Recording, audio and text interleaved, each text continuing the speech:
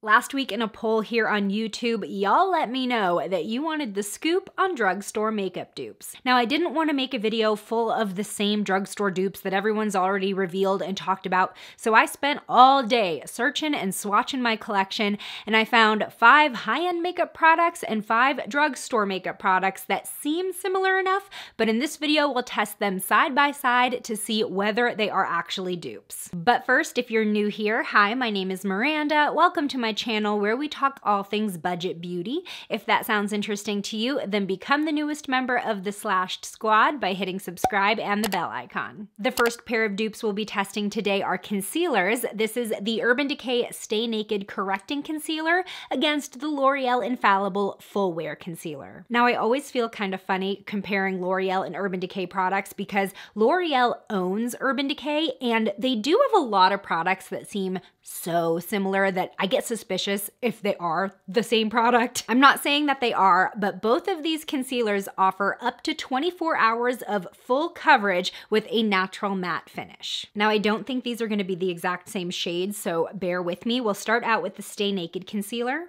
Now, what's interesting is that both of these concealers are counterparts to a foundation of the same name. And people have compared the foundations to each other, but I have tested the foundation side by side and they didn't really seem too similar because the Urban Decay Stay Naked foundation was a lot more matte than the L'Oreal Infallible foundation. But both of these concealers seemed like they had a more similar finish. So just blending out the Stay Naked concealer, it's blending out so easily and obviously we did not need a lot of product to get this complete coverage. The finish is super smooth and despite it being so full coverage, it doesn't feel like I have a heavy layer of concealer under my eye. Okay, let's go in with the L'Oreal Infallible Concealer. Now this has a much bigger wand, which I actually think can be helpful if you want to use the concealer as your foundation or if you're just kind of putting putting a light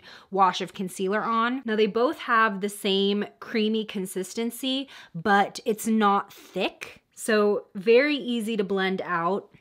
Actually, those shades end up looking pretty similar on the skin. All right, as far as coverage goes, I think that they look exactly the same. They both blended out just as quickly and just as seamlessly. And the finish under both of my eyes is looking exactly the same. It's definitely a matte finish, but it doesn't look dry or flat. And it blended into my foundation, which is actually the Infallible foundation, very well. It doesn't look like it is a stark contrast. Now, I am going to set both of these concealers because that is something that I would do with under eye concealer regardless, especially because I get a lot of creasing in that deep line under my eye. So I'm just gonna kind of bake right here for a second. So the Urban Decay Stay Naked Concealer is $29 and the L'Oreal Infallible Concealer runs about 9 to 12 depending on where you get it. Now with my under eyes set, I cannot tell the difference between the two concealers, but I'm excited to see how they hold up throughout the day. I just primed my eyes, so I'm ready for the next makeup dupes. Now this is a palette that was limited edition just this past holiday season. It's the Too Faced Enchanted Forest palette. Now we're just gonna focus on the eyeshadows in this palette because there is a whole face side as well. But as you can see, the vibe of this is relatively neutral, but with some strong pops of pink. And the pops of pinks and berries, I think, really create the overall vibe of this palette aside from the neutrals. And I think I found some pretty convincing dupes in the Revlon Enigma palette. Now, obviously, the Enigma palette is a lot smaller than the Enchanted Forest palette, but I think that it dupes the right shades to get you the same core colors that make the Enchanted Forest palette unique. So the Too Faced Enchanted Forest palette came in a makeup set for the holidays that you can no longer purchase. It was $44, and the Revlon Enigma palette is only $9.99. So obviously, I'm only gonna be using the shades that I believe are dupes so we can hopefully get the same look on both sides. So on the Too Faced side, I'm gonna go into Let's Kringle, which is a light pinky beige. And that'll be my base shade. And the Revlon Enigma palette doesn't have shade names, but I'm going into this first shade, which is very similar. Back into the Too Faced palette, I'm going into All Is Calm for my transition shade. It is sort of a rosy taupe. And in the Enigma palette, very similar taupe shade right here in the middle. This one looks a little bit cooler in shade than the one in the Too Faced palette, but I will say that both of them have the same amount of kick up when digging into the shades. These mattes are very similar in texture. They're very soft. Okay, these were closer shade dupes than I thought now that they're actually on my eye. This was such an unexpected find too, but I thought this would be a fun palette to dupe because you can no longer get it anymore. So whether the price held you back or you just waited too long, it's kind of fun to find alternatives to makeup that you can no longer pick up. So the shade Christmas Sweater in the Too Faced palette, I think was the star of the eyeshadow side. It's definitely the big pop of pink. So that's what I'm gonna be putting in my crease. Such a beautiful bright berry. Ugh. Ugh, I love Too Faced eyeshadows. Now in the Enigma palette, I think we have a pretty similar shade right here in the middle. Hopefully it goes on with as much intensity because that is the key to duping this shade. Okay, we might need to build this up just a tad, but I think the actual color is pretty dang close, if you ask me. Looking in my monitor, the Too Faced side does look slightly brighter, but if you weren't looking for it, would you be able to tell that I'm wearing two different shades of eyeshadow? Tell me in the comments. In the Too Faced palette, I'm going into All Is Bright, which is sort of a warm champagne. I'm gonna pack that onto the lid. I'm actually gonna go in with my fingers on this one. I feel like we can get a little bit more intensity. So pretty. I am getting quite a bit of fallout on the Too Faced side. So just something to note. There's how that looks. Now this champagne shade in the Enigma palette looks so similar when it's just swatched on my arm. Let's see what we can do. Ooh, interesting. Now that I'm going in with my fingers, the shadow in the Enigma palette actually feels a lot more buttery than the shimmer in the Too Faced palette. Ooh, okay. So going in with my finger, I actually like the feel of the Revlon one better. Okay, looking at them side by side and really trying to be picky about it, the Revlon lid shade that we just put on does look slightly darker just by like a half shade than the Too Faced side. Now that I can see these looks completed side by side, these aren't exact dupes. I mean, on the Too Faced side, you can definitely see that brighter pop of pink, but if you liked the overall color story of the Too Faced palette, you're gonna get really close with the Revlon one. Next, I think I found a drugstore dupe for a high-end mascara. On this side, I'm gonna be applying the NARS Climax Mascara. This is $24, and on this side, I'm gonna be applying the Essence I Heart Extreme Volume Mascara, which is only $4.99. These mascaras are supposed to offer some intense volume. Now, I do wanna point out that the Climax Mascara is not waterproof, and the I Heart Extreme Mascara, while it does come in a normal version, the only one that I had was the waterproof version. Now, what led me into thinking that these might be dupes, aside from the fact that they're both volumizing, is that they do also have pretty similar wands. They are on the thicker side, they taper at the top, and just the spacing of the bristles looked kind of similar. So let's go ahead and put the NARS one on first. I am gonna wipe off some of this formula just so we don't go in too hard. Okay, so this wand is doing a really good job at keeping my lashes separated as it coats them. I did curl both sides, but I can already tell that this side looks a little bit more open. Dang, this is a good mascara. and y'all know how I feel about high-end mascaras. I very, very rarely think that it's worth it, almost never, unless you can get it on sale somehow. So if we can dupe this, I'll be very happy. now let's go in with the essence. I'm gonna do the same thing and just wipe it off to start. This brush feels bigger. It feels a little bit more awkward to maneuver, I think because it's longer. Ooh. We're getting very similar results, y'all. Definitely seeing the same amount of lift on this side as well. Like it's really just taking my curl and amplifying it a little bit. Now, funny enough, I feel like I'm getting more volume on the Essence side. Looking at my lashes side by side, just as a first impression, I would say that these mascaras are dupes, but I do wanna see how they do throughout the day. I've put on some blush and bronzer so we can move on to the next makeup dupes. I'm gonna be testing out the Hourglass Ambient Lighting Powder Palette against the Honest Beauty Luminizing Glow Powder. Both of these can be used either as a highlighter or as an all-over finishing powder. I'm just gonna try both ways and see what happens. So the Hourglass Ambient ambient lighting powder. I feel like this is a makeup classic in the beauty community. It comes with three shades. So this palette is $64. They do sell singles for 48. However, this middle shade is not sold separately and that's the one we're gonna dupe. So I'm gonna be duping it with the Luminizing Glow Powder in the shade Midnight Reflection. They're both sort of neutral champagne shades. I'll show them swatched side by side, but obviously on the face, they're gonna look a lot more diffused. So let's see how they do. This middle shade in the Hourglass palette, by the way, is called Incandescent Light. So testing them out as a highlight first. Ooh. Now these are both supposed to give you a more subtle effect, sort of a soft focus glow, blurring and softening the skin. And I think that's exactly what we're getting with this ambient light powder. Very excited to see how it does against the Honest Beauty powder. Let me switch my brush. Yeah, I think we pretty much nailed the shade. So I'm going into a second layer. The first one was just a tiny bit more subtle on the honest side, so I'm trying to get it to match the hourglass side. But I think just two quick layers did the trick. I think we're getting the same amount of glow. What do you think? When it catches the light, you do get that reflection, but it's not harsh at all. And the Honest Luminizing Glow Powder is $19.99.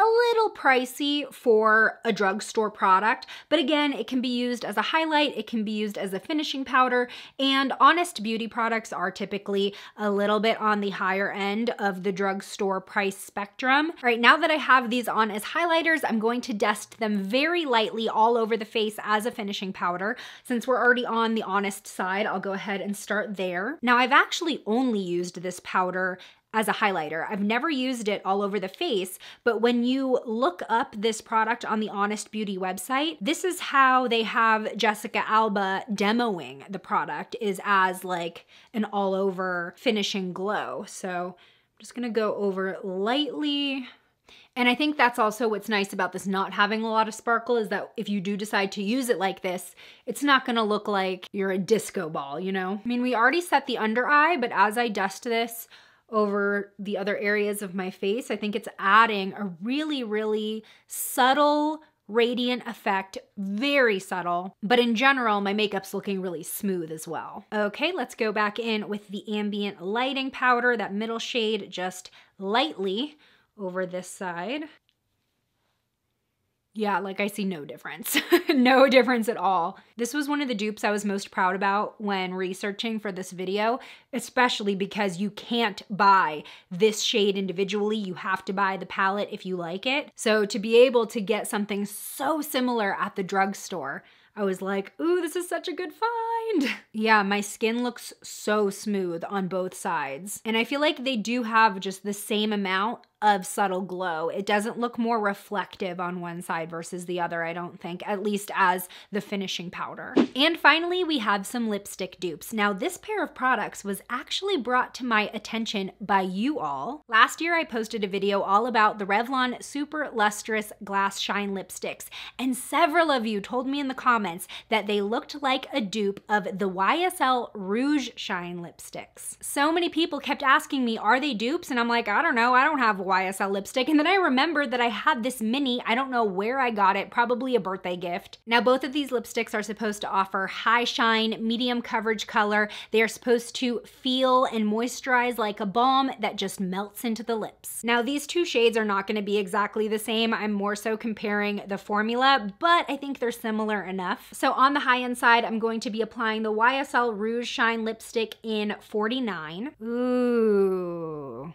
Okay, that's applying a little bit less hot pink than the tube looks. I can already tell you this does feel like the Revlon lipstick. As you can see, we've got a lot of color coming through. It is still slightly translucent or glassy, but oh my gosh, it feels like butter. Like it just feels so good and lightweight. Okay, let's go in with the Revlon Super Lustrous Glass Shine Lipstick. This is the shade Dazzle Me Pink. Let's see how similar they are.